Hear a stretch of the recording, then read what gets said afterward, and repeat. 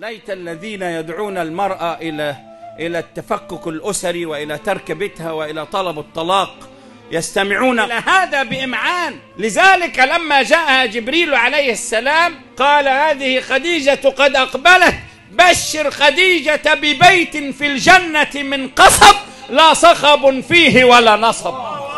وأقرئها أن السلام يقريها السلام.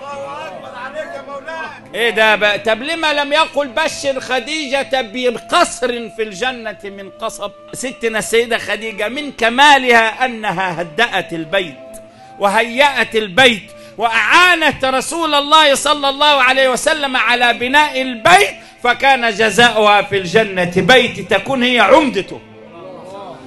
أنت شفت لما يقولوا كده في الريف عندنا ده بيت فلان. في الجنة بقى بيت خديجة يكون فيه سيدنا الحسن والحسين والسيدة فاطمة والسيدة كل هي العمدة بتاع العيلة. ببيت في الجنة على قدر الله. على قدرة الله. لامرأة قال عنها صلى الله عليه وسلم والله ما أبدلني الله خيرا منها قط. هي التي أعطتني حين حرمني الناس. هي التي صدقتني حين كذبني الناس ورزقني الله منها الولد. بشر خديجة ببيت في الجنة من قصب. والقصب ده هو اللؤلؤ المجوف. قصب رباني قصب يشير إلى قصب السبق لأنها أول من سبقت. في ليلة يا أولاد ستنا السيدة خديجة في ليلة كانت هي الإسلام. ليلة ما جاء صلى الله عليه وسلم ينام في لحافها يرتعد من الوحي ويقول زملوني زملوني في لحاف من تزمل. حضرة النبي نودي بفراشها نودي بلحافها. اهدى. هذه المرأة إذا اتصفت بهدوء الحال في البيت أطاعت زوجها. صلت خمسها حصنت فرجها كان لها من الله الجنة ولا شك. رضي الله عنها واسته بمالها واختارته فقيرا لما رأت فيه من نور.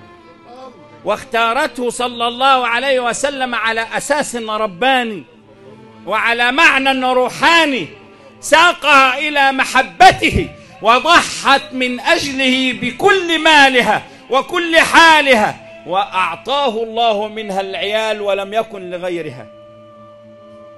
فكانت جدة أهل البيت. وإيه؟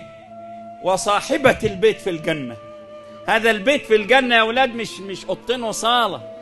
لا ده بيت معنوي بمعنى أن هي إيه؟ هي سور يظلل على مقام سيدنا الحسين في الجنة. سور جواه سيدة زينب في الجنة. سور جواه السيدة زينب بنت الرسول السيدة أم كلثوم السيدة رقية السيدة فاطمة الزهراء وكل من تناسل من ذرياتهم إلى يوم القيامة.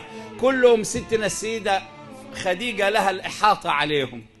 وبهذا وبهذا الصبر العالي وهذه التضحيات من أجل من أجل كرامة الزوجية من أجل كرامة الإنسانية من أجل إحياء الأسرة صارت قدوة لغيرها في ذلك.